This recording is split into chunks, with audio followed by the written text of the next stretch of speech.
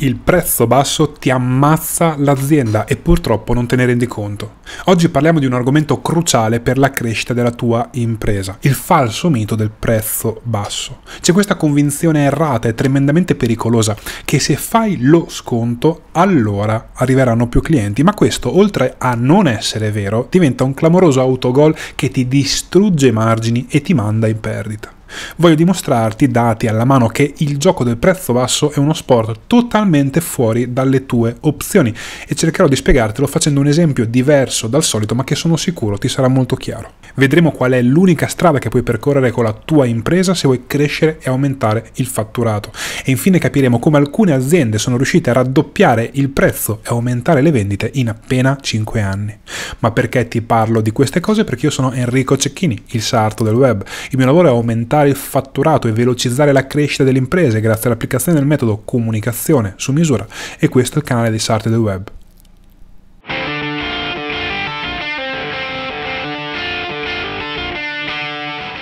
Ciao imprenditore, ciao imprenditrice, ti do il benvenuto in questa nuova puntata del Sarto. Oggi parliamo di come, di come, e perché il prezzo basso si rivela essere una tremenda minaccia per la tua impresa e vedremo poi come fare a raggiungere il risultato opposto, ovvero crescere con la tua azienda grazie a un aumento dei margini e delle vendite, cosa meravigliosa, ok, a cui dovrebbero puntare tutti gli imprenditori e le imprenditrici ma tant'è che se una cosa non sai che è possibile non cerchi neanche di realizzarla. Questa è la grande e triste verità della realtà.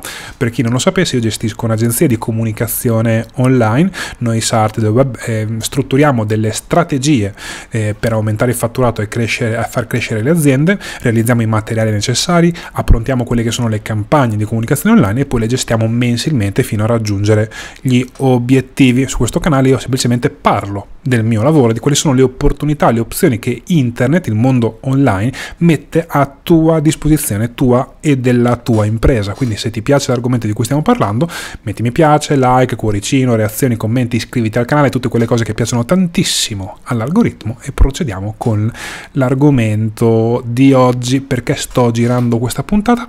Perché è un argomento che dobbiamo sempre affrontare nelle consulenze dei tutor, i miei ragazzi che parlano con voi imprenditori per darvi quella che è la consulenza eh, su misura per capire quali sono eh, le, le, opzioni che hai a disposizione, quasi sempre, più di 9 volte su 10, devono rispiegare questo concetto. Quindi da te ne parliamo in questa puntata e vediamo un po' di tagliare la testa al toro.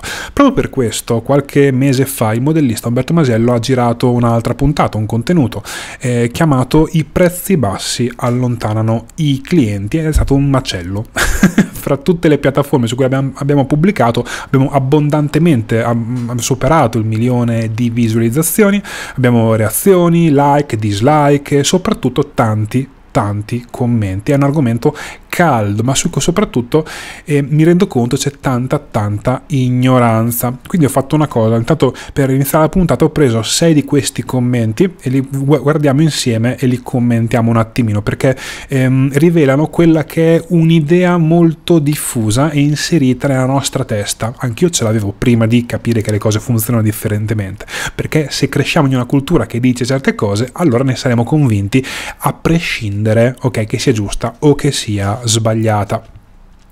Vediamo un po' il primo di questi commenti, ci scrive Massimo sotto al video dicendo si spende per le possibilità che si ha.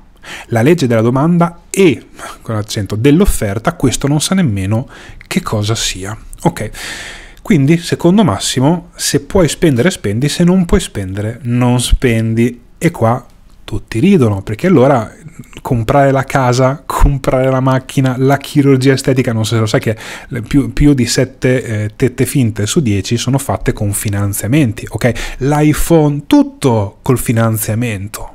Cioè tu Massimo per esempio può essere tranquillamente convinto eh, di questa cosa, ma la realtà è diversa. La regola è che le persone fanno di tutto per comprare quello che percepiscono come desiderabile.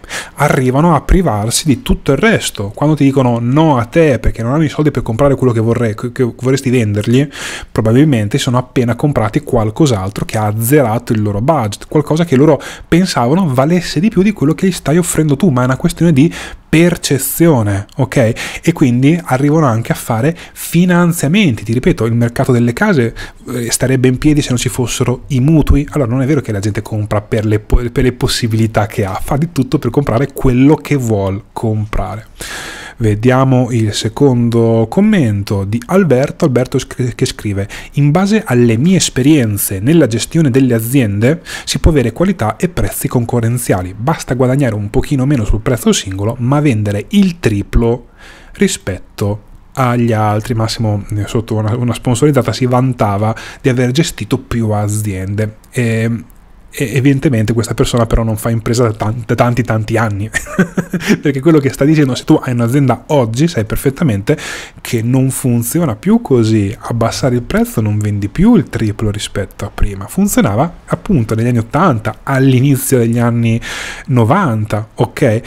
Oggi non, non succede più. E soprattutto questo consiglio che ci dà a, a Alberto nasconde un grosso pericolo, un rischio tremendo di cui parleremo più tardi, uno dei motivi per cui abbassare i prezzi, tenerli bassi, ti, proprio ti schianta l'azienda, non è una questione psicologica, è una questione matematica. Vediamo un altro commento di Danny che dice io non compro da chi ha prezzi troppo alti in base a quello che offrono che può essere un punto di vista ok, ha, ha, senso, no? Allora gli, chiedi, gli chiediamo noi sarti, e come decidi se il prezzo è troppo alto? Ha sensazione? E Danny risponde, tu come lo decidi? Si confronta con altre cose, si guardano i materiali e la qualità. Ad esempio le punte del ferro della Bosch costano troppo per quello che rendono. Tu come valuti se una cosa costa troppo? Ascolti il venditore, per, per, per pigliarmi per, i fondelli, no? E Danny ovviamente probabilmente è una persona che sa di cosa sta parlando, cioè lui lavora probabilmente nel mondo delle punte dei trapani o comunque in quel settore perché capisce la differenza fra una punta di trapano X e una punta di trapano Y, ok? Ma se tu vai a vedere come sta la Bosch, che a quanto pare vende roba a un prezzo troppo alto, ragazzi, la Bosch fattura 88.2 miliardi, ok, all'anno e sta da Dio, sta benissimo. ok, quindi come ho risposto a Danny, è evidente che il cliente finale, la persona reale, valuta l'acquisto di quello che deve, valuta quello che deve comprare in base a parametri che non sono quelli che ha evidenziato Danny ok? Cioè non è che lui pensa questa cosa e allora questo funziona. Quando sei esperto o esperta del tuo settore, capisci cose, ok, in, in, merito a quello che vendi, che la gente normale non capisce e questo può essere un vantaggio, ma può essere anche una malattia, ok? Perché ti perdi, perdi di vista la realtà, perdi di vista come funzionano effettivamente le cose. Puoi denigrare quanto vuoi la Bosch, ma la Bosch, cazzo, fattura 88 miliardi, ci sarà un perché che, sta, che non riesci a capire, quindi qui manca, cioè un, un, un mancamento di informazioni che non ti fa capire perché loro hanno successo successo e tu magari no che vendi la stessa identica cosa. Vediamo un altro commento, questo è Doriano, Doriano che scrive in risposta ovviamente a, Umberto che dice prezzi bassi ti ammazzano l'azienda. Infatti Amazon, che voleva dire Amazon, vabbè Doriano tranquillo, sta per chiudere che ha i prezzi tra i più bassi e si fa una grassa risata Doriano, grande Doriano. Purtroppo Doriano, non, beh, i, tra l'altro i dati sono pubblici, non devi neanche pagare per avere i dati di Amazon perché è quotata in borsa, è tutto quanto online, tutto quanto trasparentissimo. Amazon perde 10 miliardi all'anno per- l'e-commerce di Amazon è in perdita per 10 miliardi all'anno. Quindi quel, il, quello che sta dicendo Doriano è non capisco un cazzo di come funzionano le aziende, ok? Che non è un, un pericolo, non è neanche un crimine, quindi a posto, non, è, non c'è come ce la fa Amazon ad andare avanti grazie, nonostante perda 10 miliardi, grazie a sistemi che non sono a, di, a, tua disposizione, ok? Cose che non può fare un'azienda che fattura solo, tra virgolette, solo qualche milione all'anno, ok? Fattura 10, 20, 100 milioni all'anno, tu non puoi fare il gioco di Amazon, perché Amazon sta sui miliardi, ok? Perfetto. È, è, molto importante mettere puntini su lei, su questi argomenti, perché capisco che sia comune come pensiero, ma è anche sbagliato e i dati te lo confermano. Ma andiamo veloci al quinto commento. Francesco, Francesco che ci scrive: il prezzo di un oggetto o qualunque cosa deve andare a pari passo con la qualità e questo probabilmente è amico di Danny, ok? di quello di prima, convinto che la qualità sia l'elemento che determina la vendita, ma se fosse vera questa cosa, allora l'Italia dovrebbe essere una potenza mondiale perché la qualità del prodotto o servizio italiano ce la invidiano in tutto il mondo. E invece, ad esempio, qual è l'azienda che fa pizza più ricca del mondo? Pizza Hut, americani. Hai mai mangiato la Pizza Hut? Fa cagare, ok? Qualunque pizzaiolo in giro per strada in Italia la fa molto meglio. Però Pizza Hut fa i miliardi. Gli italiani normalmente non ci arrivano a quei soldi facendo la pizza. Di nuovo, qual è il caffè? Più ricco del mondo? Starbucks. Hai mai visto, bevuto uno Starbucks? Non vai a bere da Starbucks perché è buono il caffè. Non è un caffè buono. cioè, però loro fanno i miliardi con un prodotto che dovrebbe essere nostro e che noi in teoria facciamo molto meglio, a una, una qualità molto più alta. Ok, potremmo andare avanti per ore con questo discorso. Eh, rimaniamo sempre lì. Non è vero, la gente la qualità non la capisce, a meno che tu non faccia certe cose, ma ci arriviamo su questo. E vediamo l'ultimo commento, questo è Marco, il più, il più, delicato della combricola, se la vostra idea è quella di vendere un oggetto che vale 10 euro a 100 euro e in questo modo di migliorare la tua attività, vuole solo dire che sei un ladro come molti altri. Personalmente fate tutti schifo, vendete merda a poveri babbei che vi credono. Eh, quindi Marco dice la sua io neanche posso arrabbiarmi. Perché Marco, poveretto, cosa fa? Cosa, cosa, cosa ha fatto? Ha semplicemente guardato tre secondi di puntata del modellista Umberto Masiello, quindi non è che è andato molto oltre, non ha capito neanche quello che ha visto probabilmente, ma è ovvio che pensi questa cosa e scriva questa cosa perché è il suo punto di vista viziato da una serie di idee estremamente sbagliate. Cioè, la, la realtà che noi percepiamo viene filtrata dai nostri preconcetti nella testa, ok? Quindi se tu filtri le cose secondo, secondo argomenti sbagliati, arriverai sempre a conclusioni sbagliate e questo è un, un rischio enorme. Cioè, se sei un pensionato non è un grande rischio, tanto la pensione ti arriva lo stesso. Se sei un dipendente uguale, puoi essere convinto convinta di cose sbagliate tutta la vita e continuare comunque a fare il tuo lavoro finché l'azienda per cui lavori, per cui stai lavorando non fallisce, lo fai fino alla pensione, poi magari ti lamenti che la pensione bassa, ma bla bla bla. Ma se sei un imprenditore, il tuo lavoro è prendere decisioni e se hai idee sbagliate in testa, prendi decisioni sbagliate e la tua azienda ne soffre, ne soffrono i tuoi dipendenti, ne soffre il tuo business, soffre la tua cassa, il tuo utile e nel migliore dei casi fallisci. Capisci? Ok. Questo è il rischio di un imprenditore o un'imprenditrice che lavora, progetta il suo lavoro secondo preconcetti errati. Ok, ti faccio una eh, piccola anticipazione, ho trovato questo report molto molto interessante. Eh, Chanel, Louis Vuitton, Prada hanno alzato il prezzo del loro prodotto di punta di più del 90% dal 2019. Ok, ci sono proprio i costi del prodotto nel 2019 e oggi nel 2024. Questa è la, la fonte è HSBC Analysis. E lo vediamo più tardi. Questa è solo un'anticipazione. Cerchiamo di capire come ci riescono e come è possibile replicare un simile eh, risultato. Ma prima dobbiamo capire perché il prezzo basso ti spacca l'azienda. Nello specifico vediamo i tre motivi principali per cui questa cosa succede in maniera matematica. Il primo punto che voglio vedere assieme a te è il fastidiosissimo paradosso del prezzo basso e fatturato alto. Ok, ehm, per capire questa cosa ti faccio una domanda. Quali sono le aziende che fatturano di più al mondo? Sono liste pubbliche che tutti possono trovare eh, tranquillamente guardando gli indici di borsa. La prima che fattura di più al mondo è Walmart, USA, americana. Poi la seconda è Amazon.com, l'e-commerce di cui abbiamo appena parlato, qui sempre americana. La terza è State Grid, un'azienda cinese. La quarta è China National Petroleum, di nuovo, sta nel nome neanche a dirlo, cinese. Quinta, Sin- Sinopec, per metterci una C, Sinopec, anche questa è cinese. Poi c'è la Saudi Aramco, questa invece è dell'Arabia Saudita. Le posizioni 3, 4, 5 e 6 riguardano l'energia, quindi luce elettrica, gas, petrolio, ok? Un ambiente che io spesso nelle mie puntate dico state lontani da quel tipo di merce. Imprenditore imprenditrice, tu che fai un lavoro in un'azienda che sta sotto una certa soglia di fatturato, stai lontano, lontana da quel tipo perché è una commodity, un prodotto che può essere venduto in grandi quantità da chiunque, quindi a margini molto bassi e rischi di farti molto male. E il problema è che le aziende che vendono di più al mondo, che fanno più fatturato, sono proprio quelle che fanno i margini più bassi.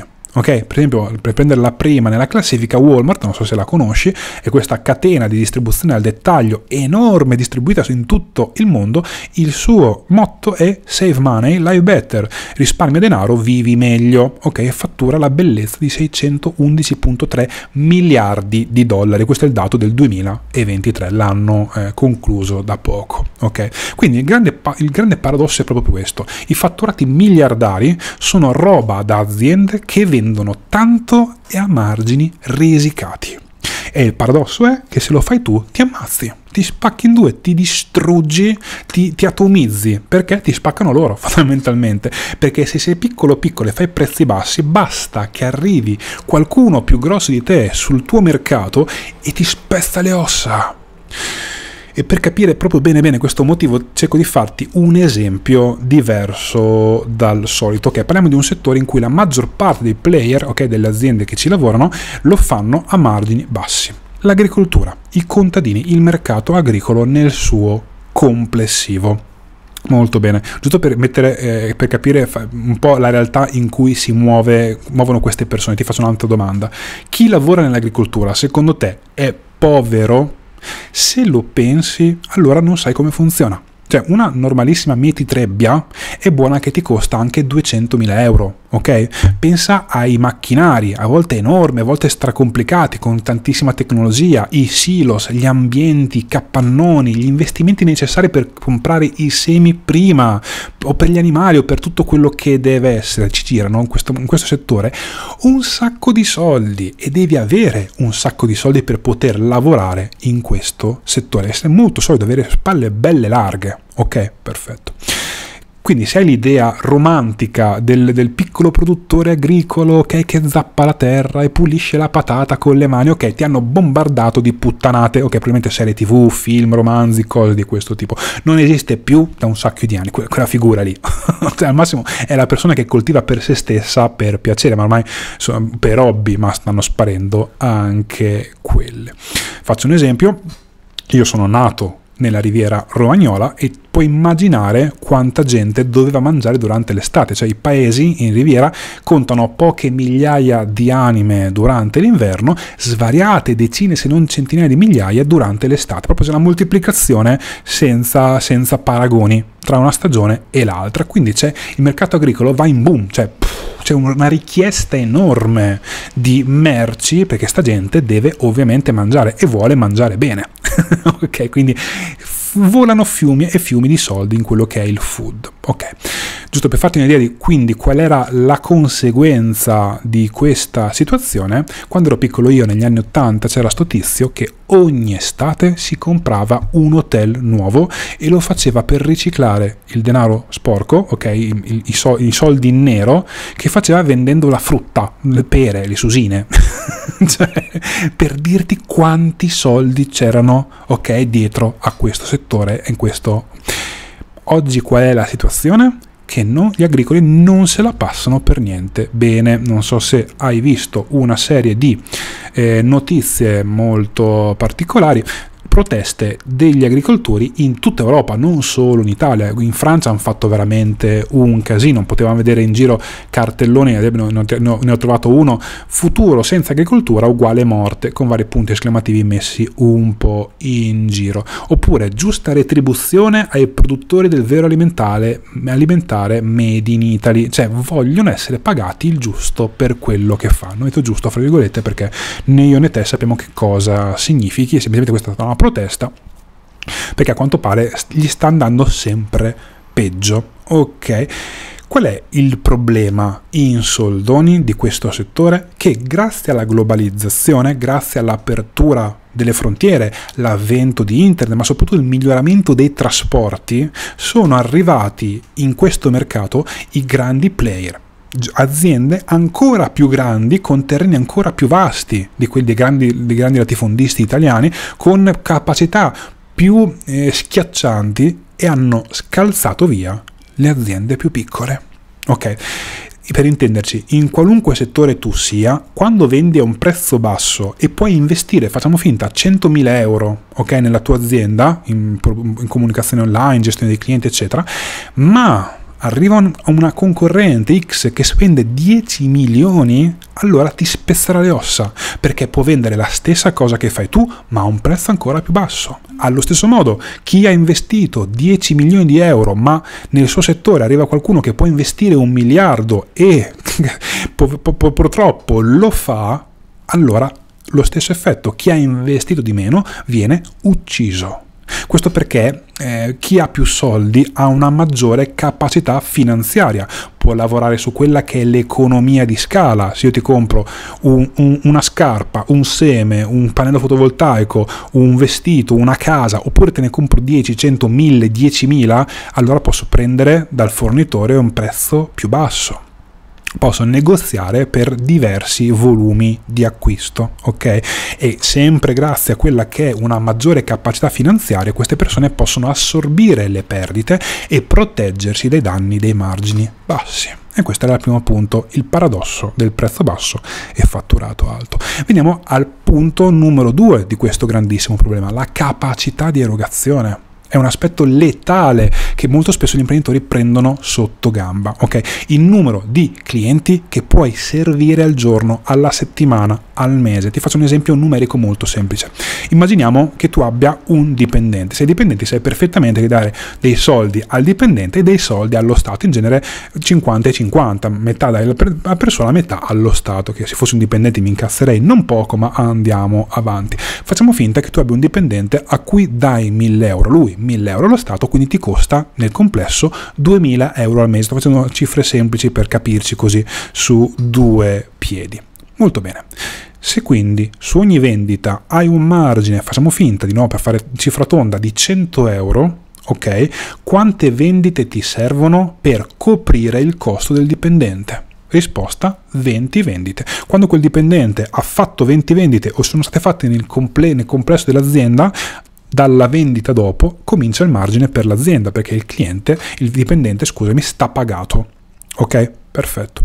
Ma se il tuo margine invece che 100 euro è 10 centesimi, allora ti servono 20.000 vendite per coprire lo stipendio di quel singolo dipendente. Capisci? Ho fatto due cifre totalmente differenti per farti capire la moltiplicazione necessaria. Qualunque iniziativa tu devi, devi cominciare a pensare in questo modo. Qualunque cosa esista nella tua azienda, tu voglia fare nella tua impresa, devi valutarla in numero di vendite che serve per essere tenuta in piedi. Ok? Quante transazioni servono perché questa cosa esista, non il contrario. Non, ok, poi vediamo quando, no, devi avere proprio un numero di vendite come obiettivo ok? Quindi tu quante vendite puoi reggere al giorno, alla settimana, al mese? Perché da lì capisci quanto margine ti serve per, sta- ti serve per stare in piedi o per avere il fatturato che desideri. Ok, e, e qu- quante vendite? È, è un numero malleabile ma non strecciabile, non possiamo allungarlo all'infinito perché una persona richiede tempo per essere servita, tempo per essere gestita, magari tempo poi per mettere a posto quella che può essere un'emergenza o un disservizio o non ci siamo capiti, eccetera, eccetera. Fare un sito richiede del tempo, eh, fare i capelli richiede del tempo, piantare un pomodoro e portarlo a, al ristorante richiede tempo ok fare i denti a una persona nella, nella, nella, sulla poltrona e poi parlarci dopo per, per, chiarire guarda ti ho fatto un ponte devi tornare per questa cosa quest'altra abbiamo trovato una carie eccetera eccetera. Tutto comunque settore e servizio c'è del tempo e tu questo tempo è limitato Ok, non puoi allungare all'infinito numero, invece una grande azienda può tranquillamente perché ha 100.000, 200.000, 500.000 punti vendita in giro per il mondo, vende caffè in ogni punto, vende la pasta, vende quello che è e può moltiplicare quasi all'infinito le sue vendite. Questa è la differenza fra piccola azienda tra virgolette, perché magari, magari fatturi 20, 30, 40 milioni di euro, ma comunque hai quei limiti lì. Non sei una multinazionale. Ok, vediamo, quindi quando alzi troppo le vendite ti tappi e ti cappoti perché poi ti, ti, ti, ti vai in esaurimento nervoso e va là che si interrompe tutto quanto. Il terzo e ultimo punto matematico per cui il prezzo basso distrugge la tua azienda è il costo di struttura quanto ti costa rimanere aperto, aperta ogni giorno, ogni settimana, ogni mese. Tu hai dei costi che purtroppo spesso non consideri. Può essere l'affitto, ma magari hai le mura, va bene, possono essere i costi annuali che devi avere tu come persona per poter fare il lavoro che fai, certificazioni, bolli e situazioni, quanto costa il commercialista, il dipendente la dipendente, quei fornitori, la luce elettrica, tutte le spese sommate diventa il costo di struttura ok? Che in genere è quello fisso. E poi c'è il costo variabile, cioè perfetto, ho fatto un cliente, 10 clienti, 100 clienti, 1000 clienti. Quanti altri costi ho per poter gestire queste vendite? Perché la, la gente, come diciamo prima, va seguita e non lo stiamo più guardando dal punto di vista del tempo, ma lo stiamo guardando dal punto di vista economico, di costo, quanto ti costa gestire tutte queste persone e la tua impresa nel totale. Arrivano spessissimo imprenditori in consulenza che non sanno quanto costa al giorno, all'ora, al mese, quello che sia, la propria impresa.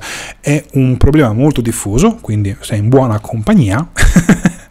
ma non per questo non è pericoloso, ok? Non, qui non c'è mal comune mezzo gaudio, qui, qui c'è da piangere, da mettersi immediatamente ai ripari, ok? Perché ho ascoltato per una vita lamentele di imprenditori che lavorano, lavorano, lavorano, lavorano e nel frattempo si stanno mangiando i risparmi. Come cosa sto lavorando a fare? Perché?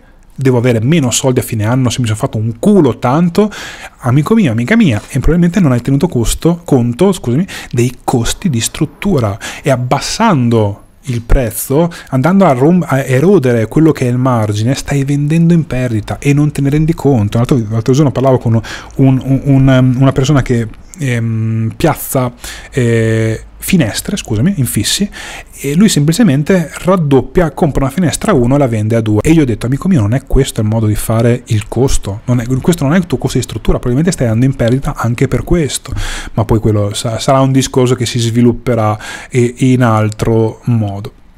Quindi, come abbiamo visto prima nei commenti che ti ho portato, ma tanto anche parlando al bar o con le persone in generale, c'è un'idea molto diffusa che abbassando i prezzi aumentano i clienti e quindi anche la ricchezza ed è un mito pericolosissimo perché sicuramente potrebbe anche succedere che aumentano le vendite, magari chiederlo a un negozio di abbigliamento che ha fatto gli sconti quando ci sono stati saldi e comunque non vede la sua cassa che esplode come prima, stanno cambiando le cose.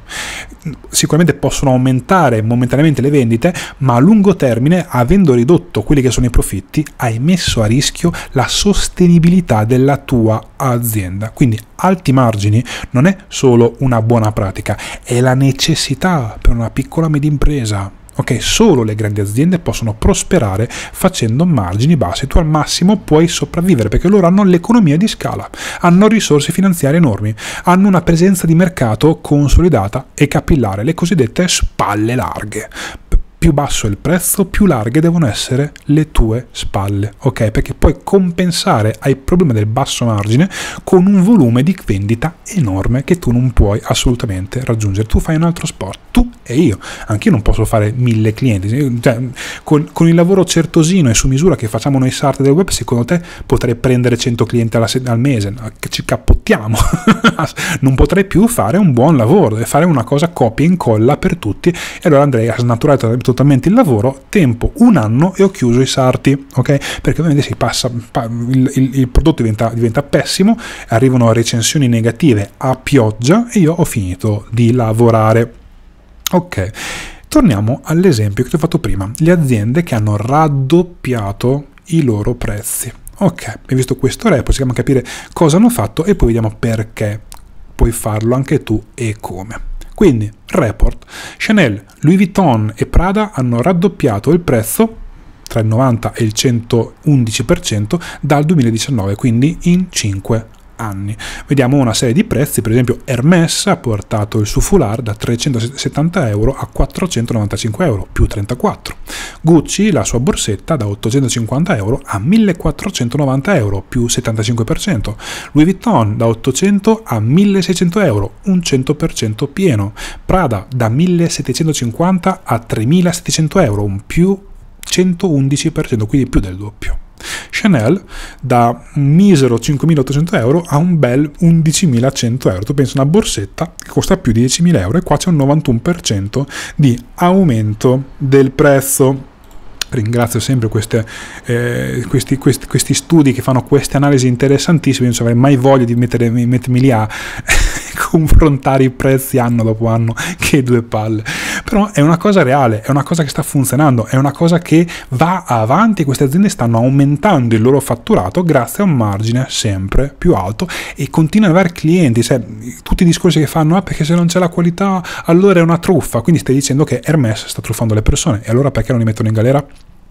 Semplicemente non capisci come funziona la regola ed è quello di cui stiamo per parlare in questo momento, perché stiamo per parlare di status, desiderio e prezzo alto ti voglio fare, raccontare una storia di ormai 300 anni fa. Ti parlo di James Cook, che è stato un esploratore, navigatore e cartografo britannico, uno dei primi uomini a toccare eh, l'Australia, le Hawaii, ha, fatto, ha, fatto, ha, ha lasciato un patrimonio eh, di, di, cartografia che ha ehm, contribuito a sviluppare quello che è il mondo fino al XX secolo, cioè ha fatto veramente un grandissimo lavoro. Quindi siamo nel 1700 e questa persona dice devo circumnavigare il globo un qualcosa di terrificante, difficilissimo. Cioè, come cazzo fai? Circo, circo, devi navigare il Pacifico. Hai mai visto una, un leone del Pacifico quando un attimo, un attimo il mare si incazza? Cioè, fanno spavento anche se sopra una petroliera, figurati le bagnarole su cui queste persone navigavano nel 1700. Ma lui aveva due coglioni tanto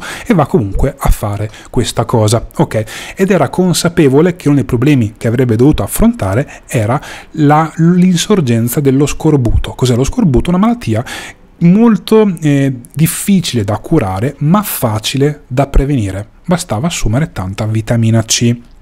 Poi lascia stare che le, le, conoscenze al tempo non erano ancora approfondite come quelle di oggi, però si capiva che alcune cose andavano bene, alcune cose si faceva tentativi, ci si, si passava parola, si cominciava a capire come funzionavano queste cose.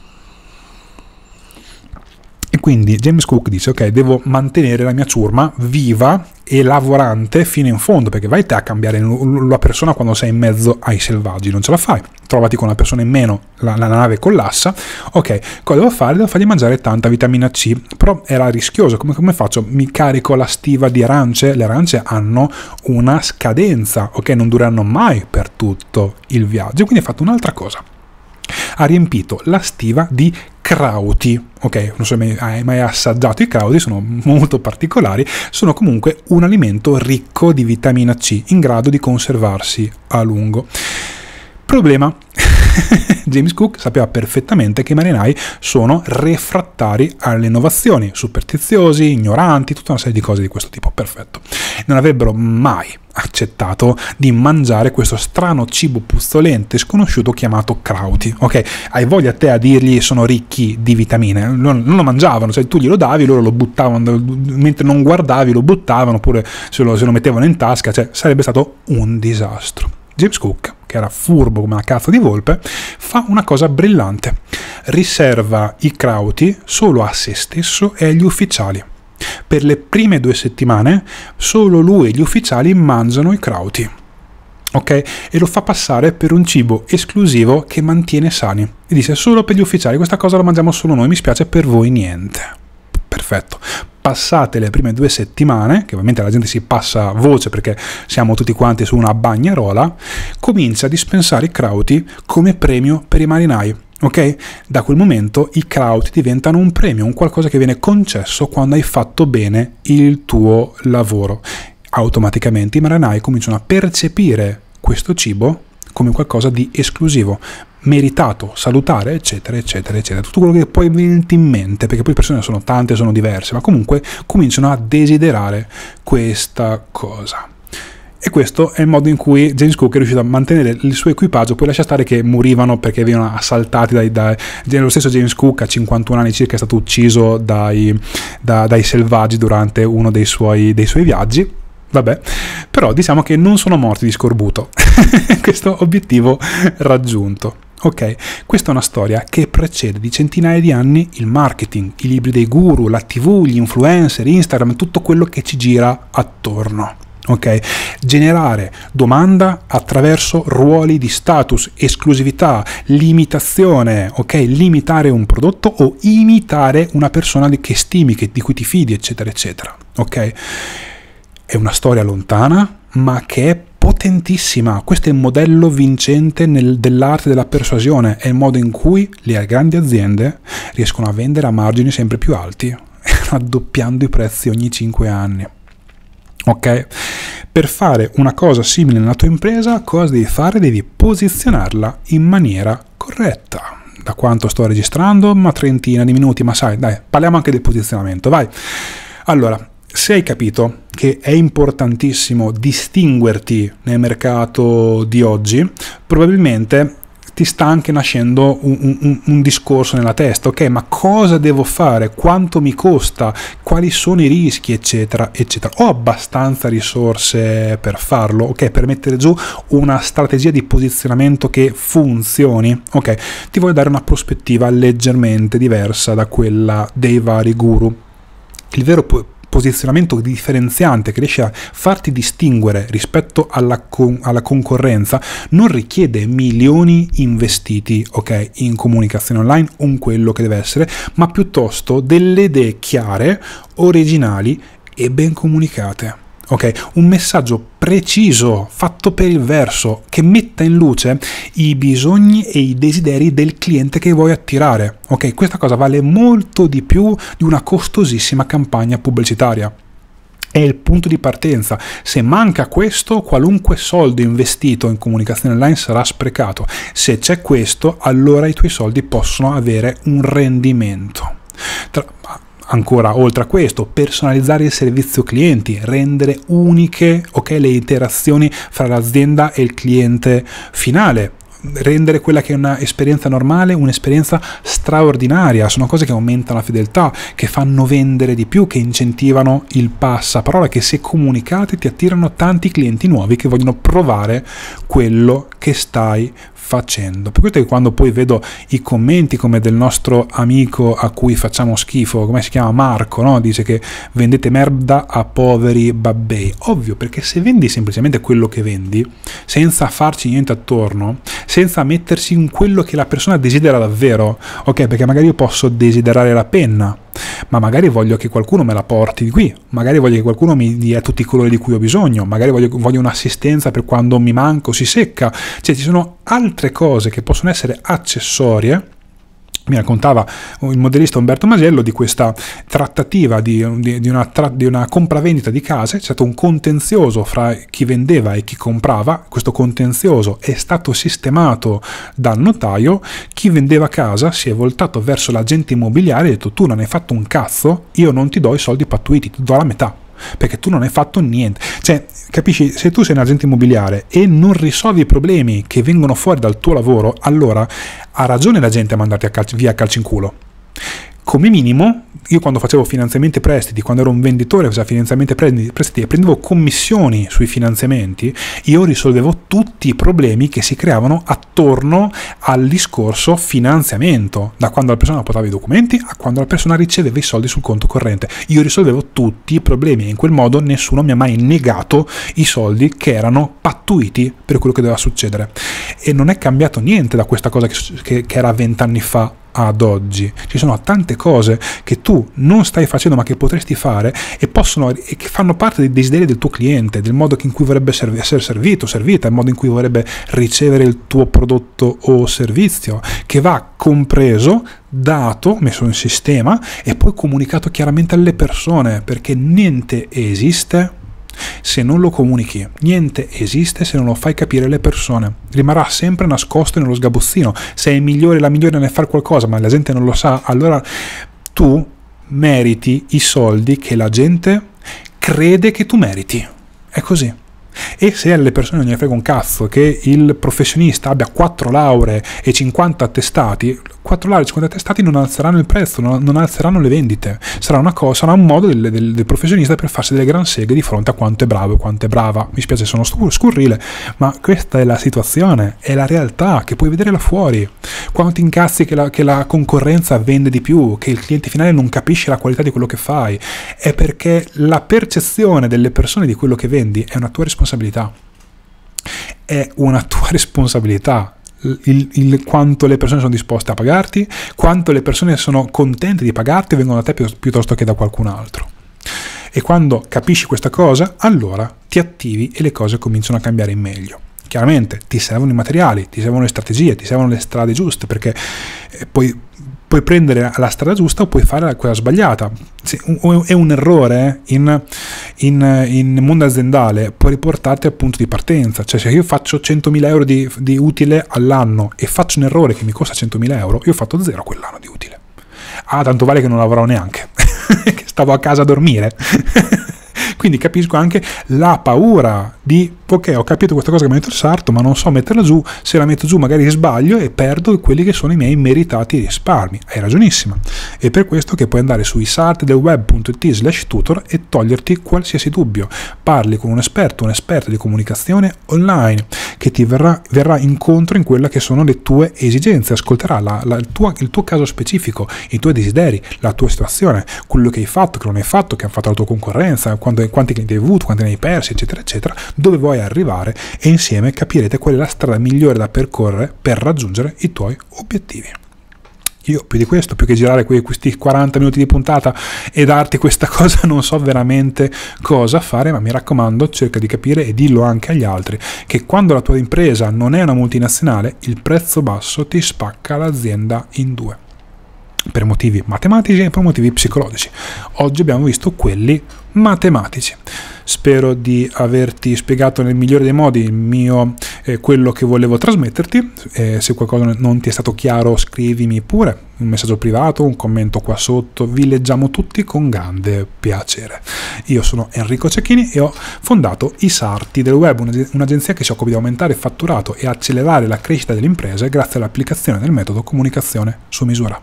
Vuoi leggere qualcosa in più su di noi? Ci trovi su isartidelweb.it, ma anche sul social che usi più spesso e sui maggiori canali di podcast. Detto questo ti auguro buona giornata, buon lavoro e buona comunicazione online. Ciao!